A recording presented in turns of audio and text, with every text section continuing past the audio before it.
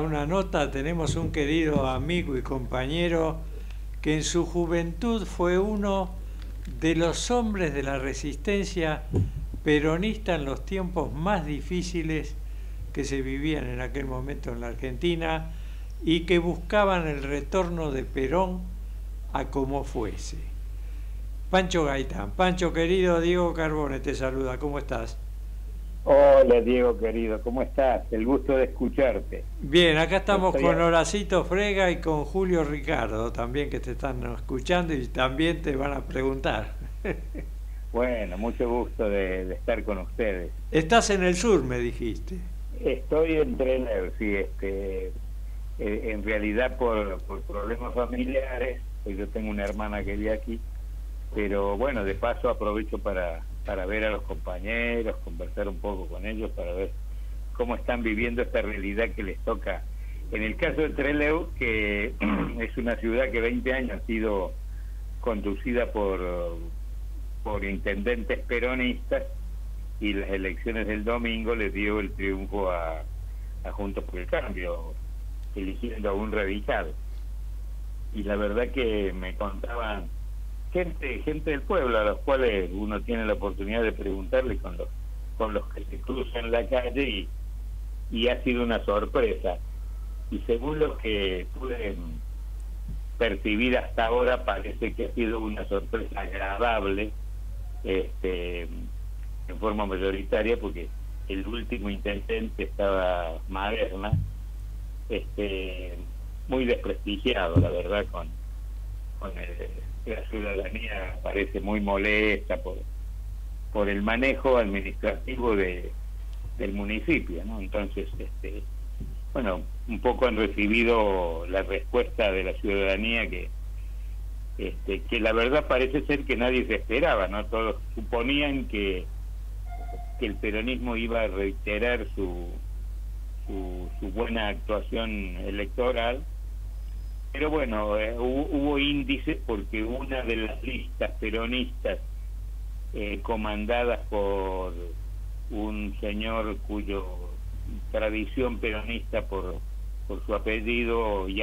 que ya ha sido intendente y ha sido diputado, etcétera, que eh, McCarthy eh, fue en una lista, fue en la lista que, que representaba mi ley, entonces son esas cosas insólitas que están pasando eh, en, nuestra ciudadanía y en nuestro movimiento político que, que la interna supera a, a las necesidades y a, los, a las necesidades populares y nacionales y a, a los objetivos de la gente del pueblo. Y a lo mejor pensaron que... McCarthy era pariente de aquel general que dijo volveremos en la Segunda Guerra Mundial. es probable, sí es probable, porque es bastante parecido, así que sí, la gente diga este, mentalmente esas cosas. Gaetano, gracias este, Frega. Eh, ¿Cómo le va?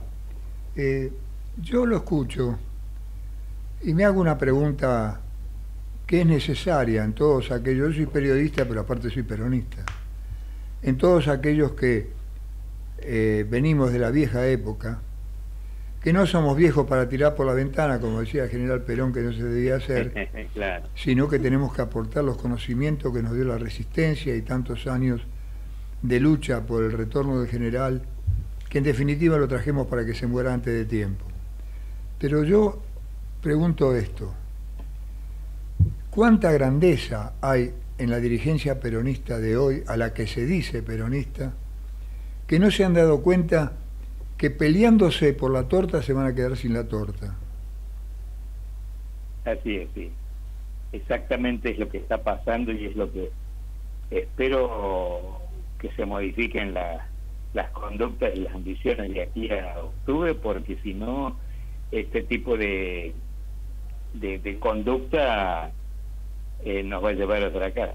Lo que uh. pasa, compañeros Vega, que el, el, lamentablemente hay un alguna gente le llama panquequismo, ¿no? Que realmente hay una hay un viejo un viejo compañero nuestro solía decir los tarzanes de la política, los trepadores, ¿no? Los tarzanes, la verdad de los tipos que que, como, el caso de, de, Patricia Burri, que realmente responde a sus intereses oligárquicos de, su familia, pero que eh, le importó un poco ser eh, peronista siendo hija de la oligarquía y hoy le interesa, después de haber pasado por cuántos partidos se le puso cerca, este, termina en las antípodas, ¿no? Así termina en lo que es, en todo caso. Pero te digo, lamentablemente el sistema político eh, que se practica hoy facilita este tipo de conductas o de inconductas en todo caso, porque no se defienden más los principios, los valores, los objetivos históricos, sino los intereses personales de algunos dirigentes que simplemente eh, buscan la forma de, ver cómo pueden ser pueden ser electos a partir de sin importarles si dicen la verdad o no sin importarles los métodos ni los este, ni las conductas no esto avala este, hay un deterioro hay un deterioro político compañeros lamentablemente que se percibe en todos lados de una eh, de una este, de, un mal visto por parte de la ciudadanía, por parte, por parte de la gente, sobre los políticos y la política Lamentablemente yo creo que es parte de un proceso de destrucción que se viene planteando en nuestro país de 1955 hasta hoy, que se aceleró a partir de la dictadura de 1976. Entonces yo creo que no, no es de casualidad que pasa lo que nos pasa, ¿no? Este, yo creo que hay que modificar el sistema educativo, por ejemplo, que nuestros jóvenes, nuestros niños, a partir de nuestros niños, este, eh, estudien lo que es la historia nacional en serio este, y la historia latinoamericana, porque es lo que nos une eh, a los pueblos que realmente debemos estar juntos en, en lo que nosotros decíamos la lucha por la liberación nacional. Nosotros estudiamos con los libros que decían la primera tiranía y la segunda tiranía no nos, olvidemos de eso. No estudiamos por Manuel Galvez, por Ernesto Palacio, ni por Pepe Rosa, estudiamos por esos libros. Pero yo le quería decir algo. Chino Navarro, por esto que acaba de decir de McCarthy, eh, Chino Navarro denunció que había ciertos sectores peronistas que estaban por abajo apoyando a mi ley para deteriorar a Cambiemos. Esto es un arma de doble filo. Esto es como, como jugar con, con fuego eh, llevar nasta en el bolsillo en el medio del incendio. Me parece que no estamos dándonos cuenta que en el 83 nos pasó algo muy malo a nosotros, pero que nos reconstruimos a través del replanteo y de la renovación.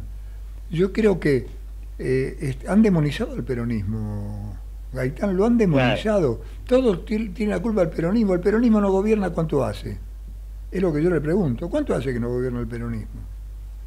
Esa es la pregunta que hay que hacerse. Transformaron al peronismo en un cien pies. ¿Por qué un cien pies? Porque todos quieren la pata peronista, pero no lo quieren a Perón. Entonces debemos tener cien patas los peronistas. Así es.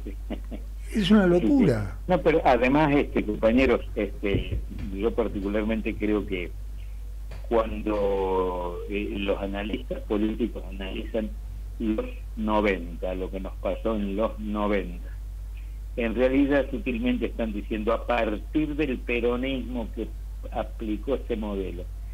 Pero eh, yo creo que la gente que piensa en serio debe darse cuenta que no es a partir del 90, es a partir del 55, pero en todo caso es a partir del 76, porque el modelo que se aplica en nuestro país es el que Martínez de Ospergeño y todavía sigue con algunas leyes fundamentales como el de las entidades financieras, que nos tienen atados del cuello en el campo internacional. O sea, Argentina lamentablemente ha perdido la capacidad de, de, tener una práctica soberana en la política nacional, en la política internacional básicamente. Este, y, la, y la dependencia en lo que nos ha metido la guerra Malvin y las deudas, fundamentalmente las deudas, lo que aplican con una con una artillería eh, jurídica mundial que se ha montado que es canallesca y ladrona, porque la verdad que nos roban la nos roban los recursos, nos, nos hacen juicios internacionales por cosas que a los tipos se les ocurren, este, y, y, y, y la Argentina, no es el único caso, muchos países del mundo, dependientes, tienen que financiar la cosa internacional de los de los vivos de la guerra. Está muy bien, un este, gusto, un gusto poder saludarlo. Lo voy a interrumpir con, con dos preguntas nada más. El resultado electoral reciente de la Patagonia, ¿usted cree que es una sombra que está explicando lo que va a pasar con el resultado de las elecciones en todo el país? Y en segundo lugar le pregunto, lo que se está hablando del oficialismo, están tres o cuatro grupos en una oposición tremenda, también le pasa a la oposición, que están peleándose en tres o cuatro grupos de una manera que preocupa, o no es para preocuparse la pelea del oficialismo y la oposición. Sí, exactamente. Yo yo creo, eh, no necesariamente el resultado entre el es un índice, porque además además tenemos bueno que ver qué es lo que pase luego en la provincia, porque eh, Trelew indudablemente es una de las tres ciudades principales de, esta provincia, tan importante, tan rica, pero que tiene el fenómeno este, patagónico de, de, la, baja este, densidad de población, no tiene grandes extensiones con muy poca gente, y tiene tres, cuatro centros que son los decisorios, pero eh, de cualquier manera es un índice que, que no es tan sorprendente, me parece, y que de alguna manera espero que sirva como ejemplo para, para los compañeros honestos que participen en la política más allá del interés que defienden. La segunda cosa es lo más preocupante, me parece a mí, porque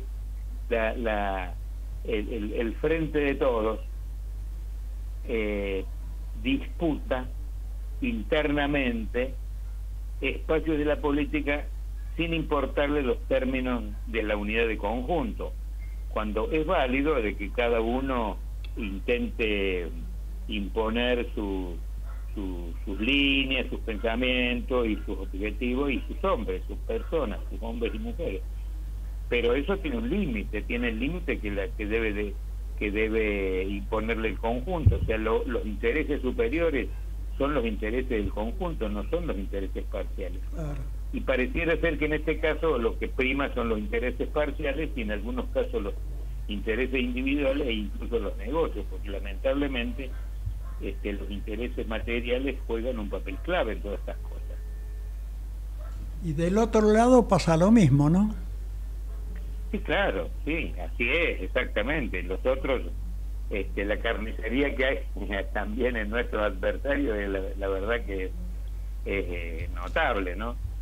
Eh, casi, casi sería hasta más grave eh, si no fuera de que realmente el aparato mediático que tienen de apoyo, todo lo que es la superestructura, no solo nacional sino internacional, que realmente les da una chance de de que aquellos que decía que decías que han demonizado el peronismo cierto les llegue no porque eh, nosotros que hemos sido no solo militantes hemos sido testigos partícipes y beneficiarios de esa cosa.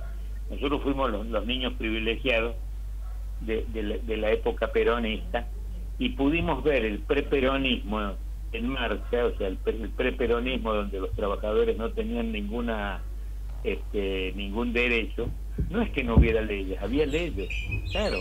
Este, una vez le preguntaron a Perón, eh, cuando todavía no era presidente, cuál sería la ley que él este, eh, priorizaría si, si llegaba a ser gobierno, y dijo una sola, la que haga cumplir las leyes que existen. o sea, las leyes existían, pero no, no, no se aplicaban en, en, favor del pueblo. Fíjense, ustedes recordarán que hubo un famoso informe que se llamó el informe de Alemán de 1904. Este, en realidad fue una investigación que este hombre hizo después de 1900, 1902. En 1904 se presentó en el Congreso de la Nación, este, donde se le había pedido que investigue cuál era la situación de los trabajadores en el interior del país. Y Vialema C en el Congreso de la Nación dijo, no es cierto que los trabajadores en el interior del país trabajan de la sombra, no es cierto. Trabajan también de noche. O sea, realmente la explotación era increíble y, este, y la pobreza y la miseria era muy fuerte. Y la verdad que eso, los que vivimos en el interior del país, yo tengo la, suerte de ser del interior del país, algunos me critican porque soy cordobés, pero en todo caso pudimos del interior ver cuál era la situación de la clase trabajadora, los, los niños que, que ya tuvimos este, un cierto nivel de conciencia en aquellos años. yo le agradezco este, mucho, le, agradezco mucho estas respuestas, ¿eh? muy amable. Eh, Pancho, eh, lo que, el gran problema que tiene ahora el Frente de Todos es que no se saben quiénes son los candidatos cuando ya falta poco para la presentación de las listas. Y el presidente todavía no se decidió a decir si él va a ser candidato o va a dar un paso al costado. Y entonces aparecen Guado de Pedro, Rossi apareciendo como candidatos, pero no muchos más. Pero hay muchos que están agazapados esperando para decir que quieren ser candidatos y va a ser una paso con muchos candidatos a presidente dentro del Frente de Todos. Así es, Diego. Pareciera que, bueno, evidentemente es parte de de la técnica que están jugando los políticos a ese nivel, ¿no? Eh, para, unos para decidir y otros para decidir una cosa y los otros para decidir lo contrario. Eh, lo que pasa que eh, a mí me parece que lo que no deberían hacer nuestros dirigentes es tratar de dirimir su interna en el campo público.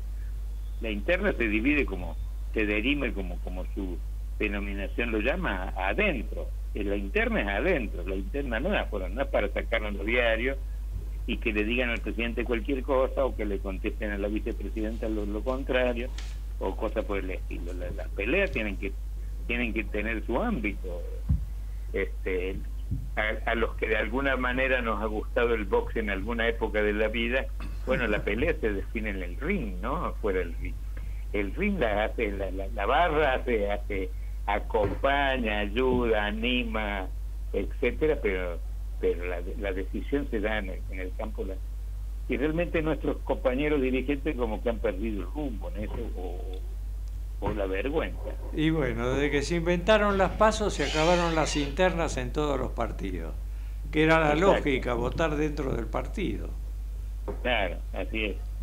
Ahora, lamentablemente, eh, hay, hay, hay algunos márgenes o algunos límites que se deberían sostener, porque el hecho de que yo pueda aspirar con cierta eh, con cierta posibilidad de ser candidato de una sentencia determinada no me habilita a hacerlo de cualquiera y de cualquier forma como pareciera ser que se practica no porque fíjate si ustedes ven los resultados que se han producido ya este van así como yo puse el caso de McCarthy, también hay eh, en, el ámbito contrario, no la suma de eh, expresiones este, del peronismo este, en otras posiciones distintas este, y que pueden ser positivas inclusive. Yo no no la no, no, no en ese aspecto no las critico pero en una libertad de acción que no sé si es tan positiva no porque